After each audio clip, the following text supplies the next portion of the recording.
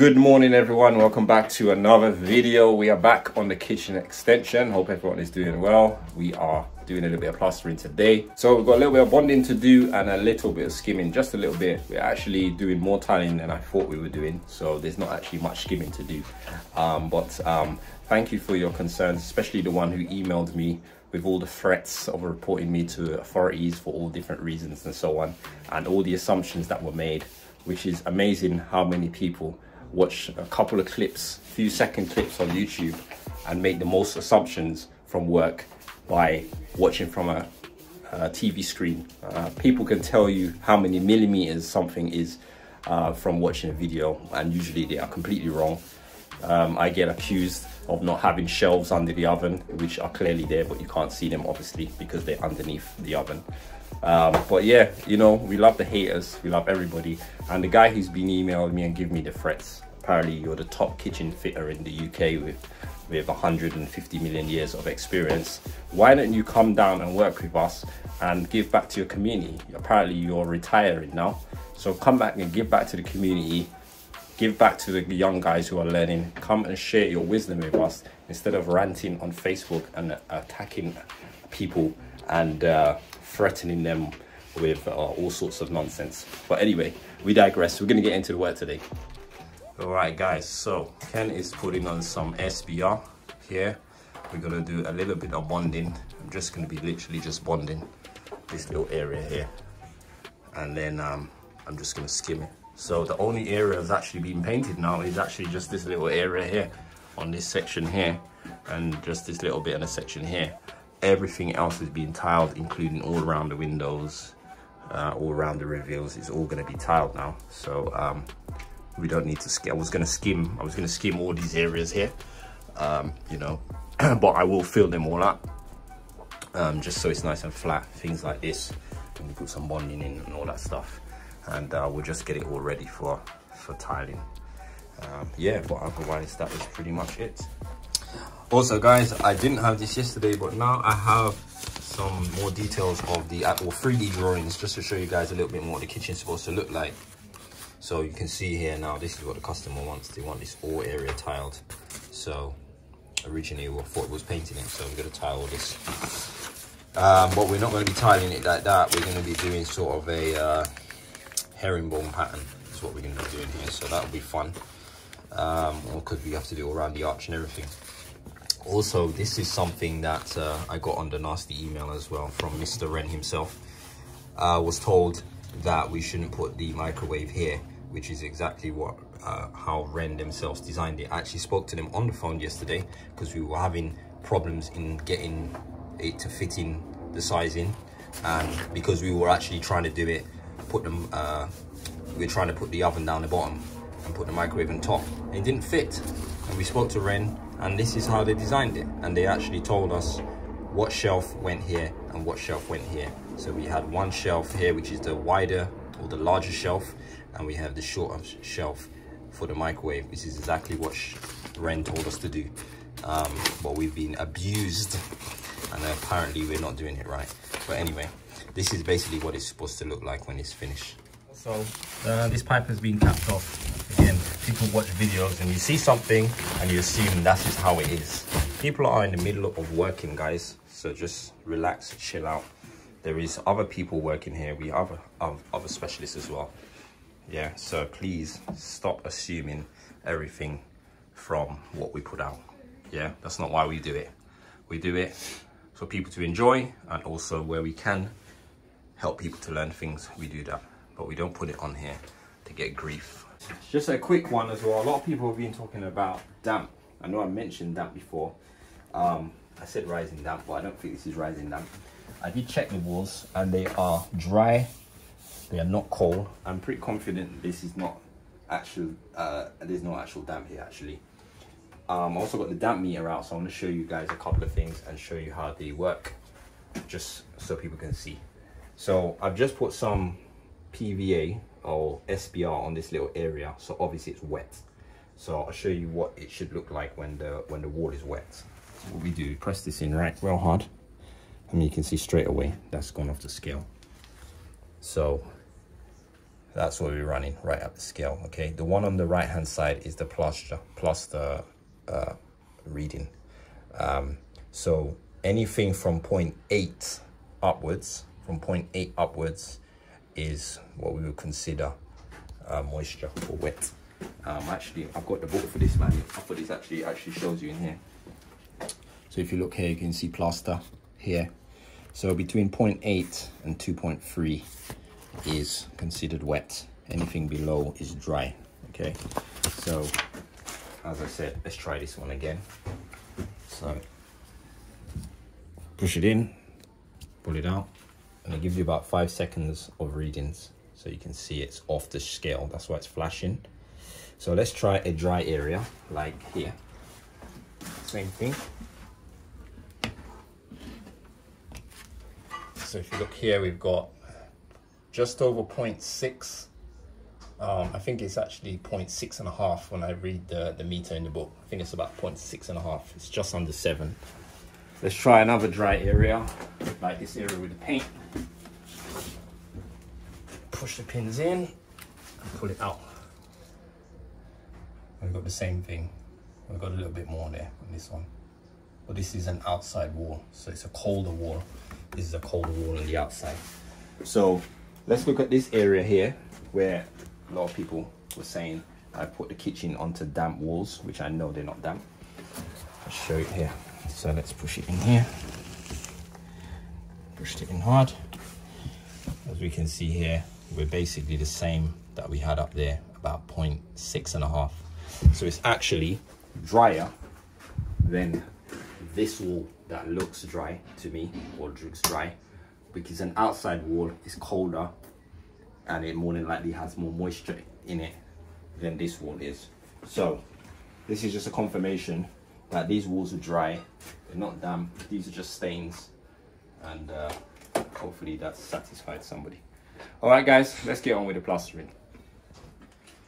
All right guys, quick update. We've been busy, busy, busy. So we have done this wall. I ended up just pretty much doing the whole thing really because we're gonna tile. All this is gonna be tile and cabinets and tile.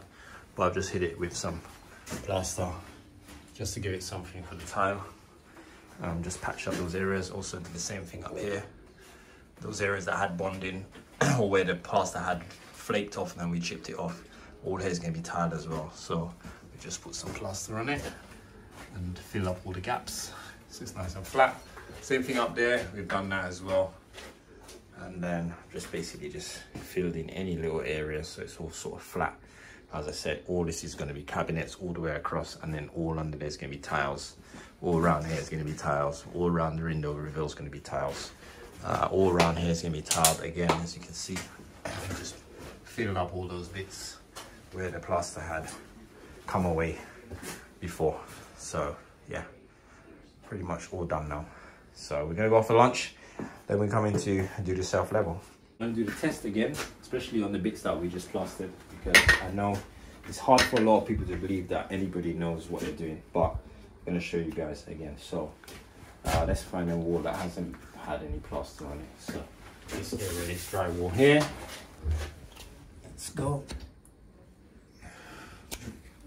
So here we go. We have what 0.65 again, 0.65, which is seems to be quite standard because these are completely dry.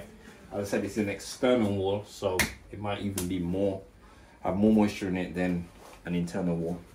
Um, I don't really want to try any internal walls in the house because I end up po poking holes in it.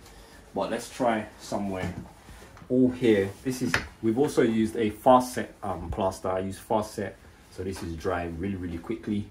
Um, so there is no issues of wet working in the kitchen. Again, there's a lot of myths out there and um, sometimes we try to re-educate with a lot of myths. I know everybody knows their way and knows the best way and knows better than everyone else, but one thing a lot of people have to understand when you are a general builder like myself and you're you're working the whole services for instance you're doing the plastering you're doing the kitchen cabinets you're doing the plumbing you're doing the, the flooring we have to work methodical in a way that we can get a lot of work done in one day so I can't just come in and pull the self level and then go home because we have things to do. Otherwise, the people's jobs are going to take forever And I know that because I hear the stories already all the time. Someone's doing a kitchen and it's taking four weeks and they haven't finished the kitchen yet. We come in and we get it done. So we can put base units in and skim the areas after. Sometimes that's how it's gonna work, depending on what materials we got that day. Sometimes we're gonna have to self-level this little area and we can do it, it's not a problem. But anyway, moving forward. So this is being done with a with a fast set plaster. It's it's basically dry within about half an hour. Um, so there's not going to be much moisture in it for very long. But there is now obviously. So i'm going to put it on here and show you guys what readings we get. It's probably going to be off the charts. So poke holes in it. And as you can see moisture. So for those of you who are going to say well your tester doesn't work it needs calibrating it works yeah? This is damp. This area and this is another thing people assume because plaster is dark that is damp it doesn't mean it's damp just because it's dark. Yeah, there's discoloration. It doesn't always mean it's damp. And as I said, I checked this before and I knew it wasn't damp. So this area, which you may think is damp, is completely dry and it's very warm. It's not wet, it's not cold. So let's do this area now. Push in and there we go. Pull out and this is it here. Okay, so we are 0.7, I would say. So we're well under the minimum for dampness okay? So there we go again confirmation on video because i know lots of people are going to say you don't know what you're talking about. But anyway that's it guys. So we're shooting off for lunch and then when we come back we're going to work on getting this floor done. We're going to work our way out and then we'll leave it there. And when we come back we can get on with the rest of the units. All right guys so that's drying out nicely and uh, what we do now is we're gonna self-level the floor. So we've SBR'd it already. And um, showing you basically we're gonna work our way from that way work our way out the back of the house. And then um, we'll be we'll be out of here. So also um, just showing you what we did here. You can see with the legs we just put a little bit of tape around those legs in the front there. We're just gonna blend the self-level out there. And we just take that tape off and that way none of the self-level touches the legs not that it's a big deal, but it's literally going to be about three, four mil, very fine layout on this because it is actually quite smooth. It's just a few little lips um, of plaster, but yeah, we're just going to give it a quick uh, self-level. We'll pour from this way and we'll work our way. We did fill in that bit here with some rapid set cement, so that's all ready to go. I'm just going to do that now and work our way up. That's So I'll do that and then I'll pass it to you. Alright, last man. Yeah. Looking forward.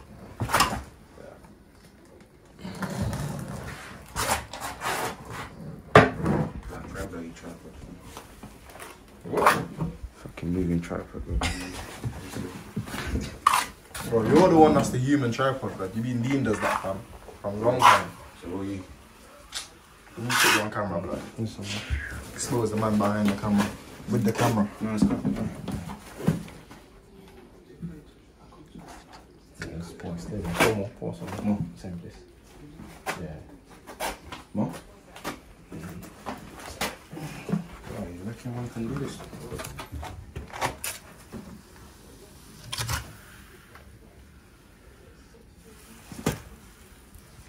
Self leveling the floor like it's plaster on the wall.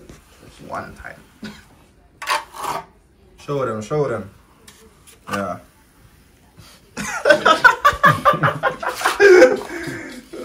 Try this one. That's it.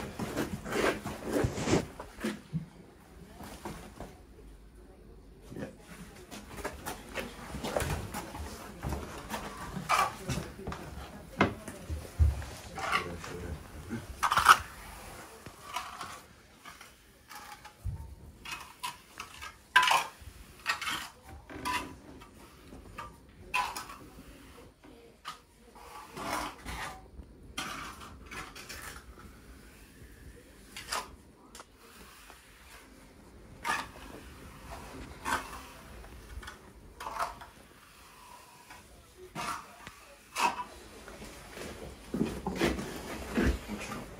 Or someone just in the center or like a bit there.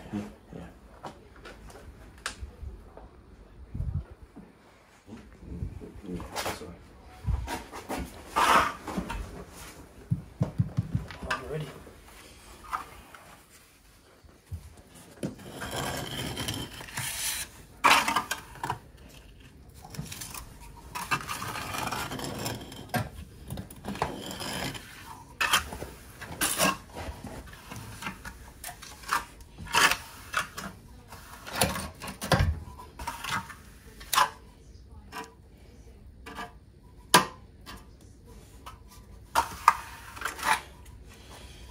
some more on the same. Hmm? On the middle of it.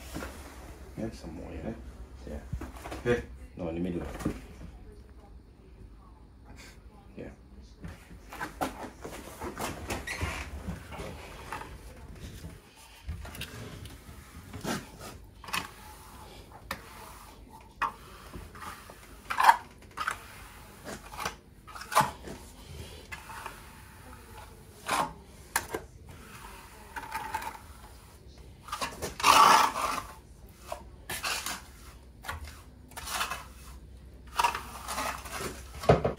Okay, just put all of it. What? You're in the sky, blood. You're gonna get Darren's channel demonetized, fam. It's too much casting, blood. See them boy there. Uh, What I going for them boy there? Hey, why you trying to hide from the camera now? Follow me. Yeah? I ain't following you, fam. I don't think he's the main character, you know. Dickhead. The NPC, yeah? yes, fam. Bro, once they follow me, A non-player character this way. Come out the yard, fam.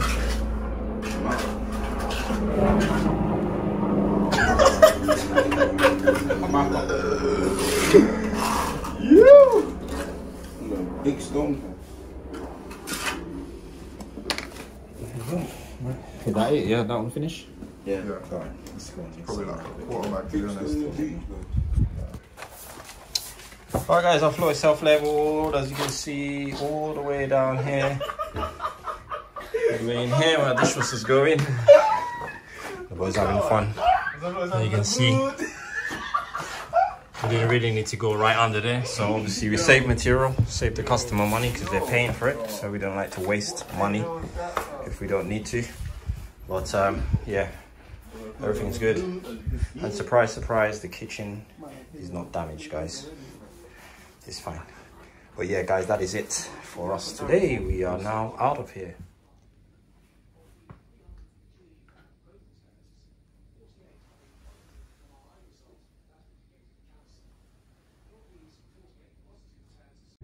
So guys, that is it for today. So we are finished for the day. I am ready to go home. But just real quickly, I want to address a couple of things. You know, sometimes um, you do have to, a lot of things, you know, we let slide and a lot of things tolerate and ignore and so on. But sometimes um, things have to be addressed. And um, two things are this.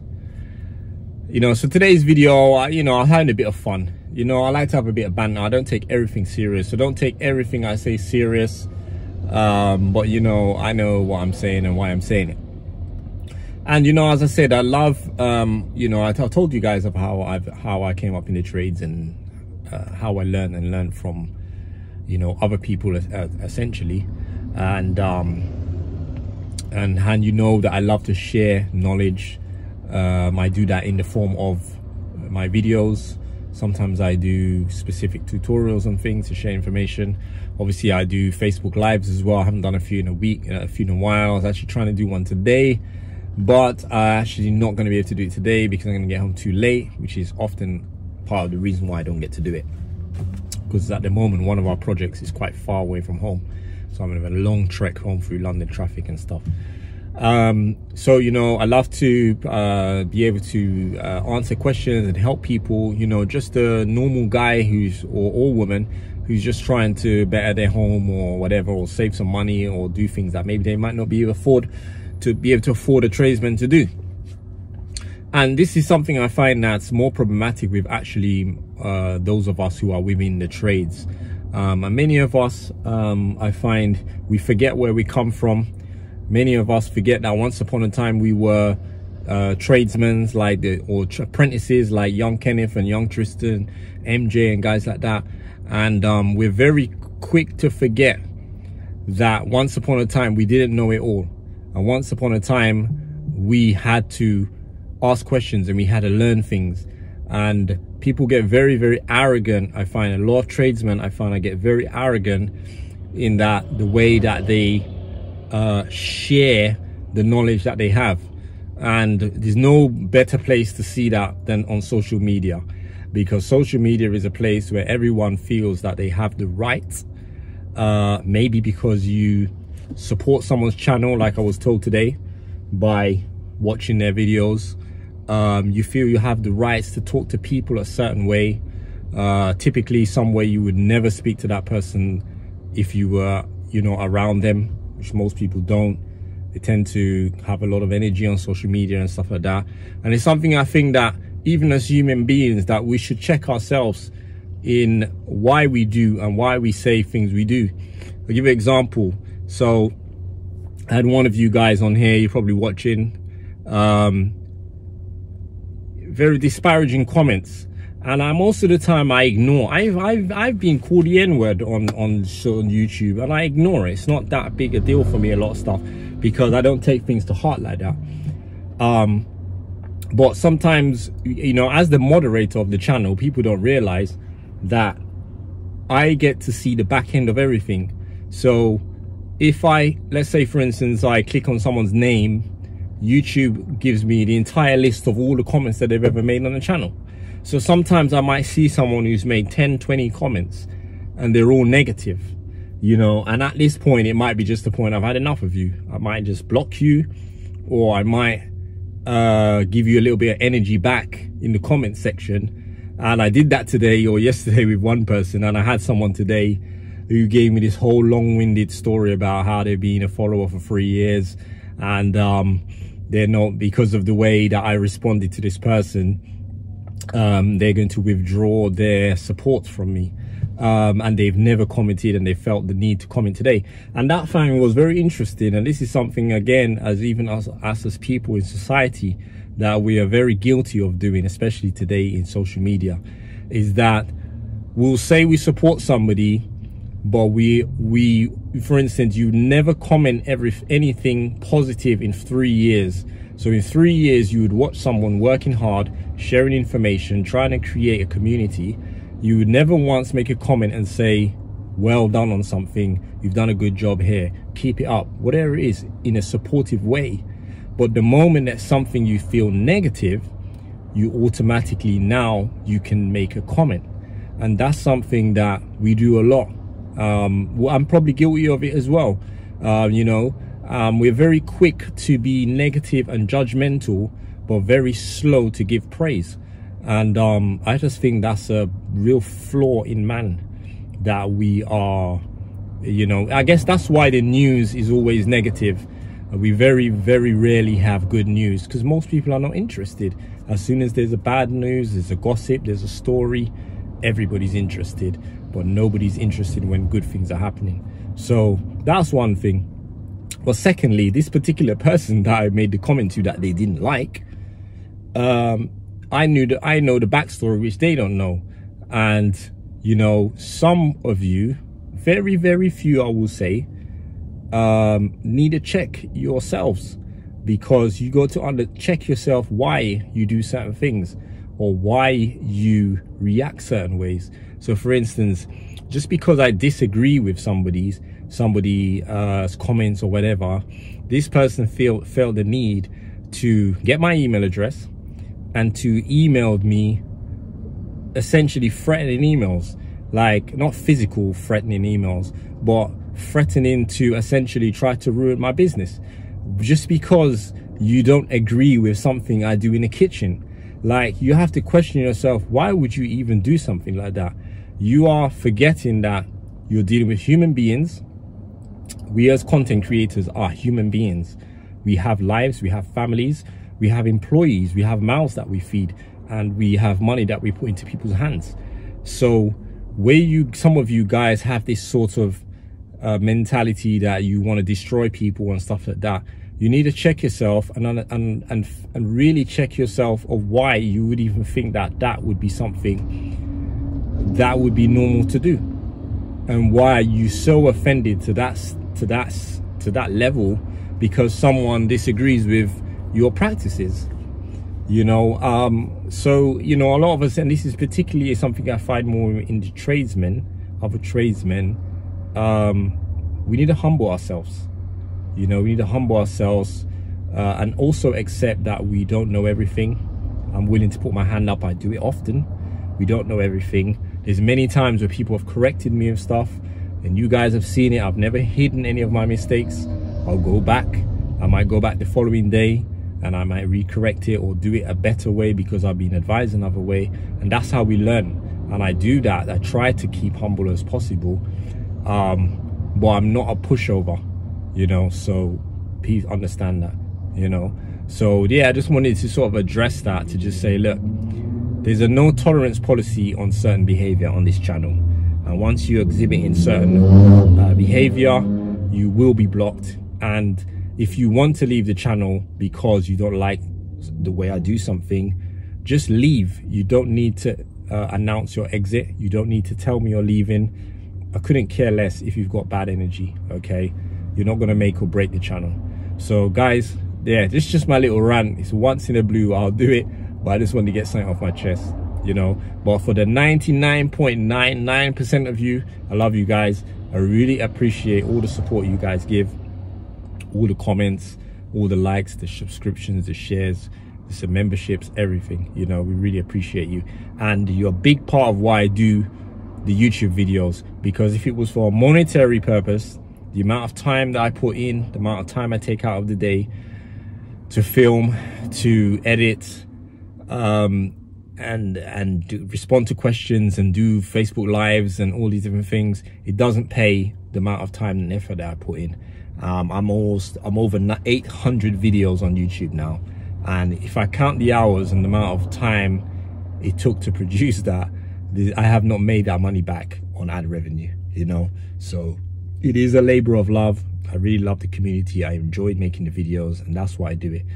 Um, so be easy on your content creators, please, because there's a reason why a lot of people stop doing things like YouTube and stuff because they get sick and tired of the negativity that comes from, although it be a small number of people, but it affects a lot of people in a negative way. Fortunately for me, I've got quite a strong back, water for ducks back.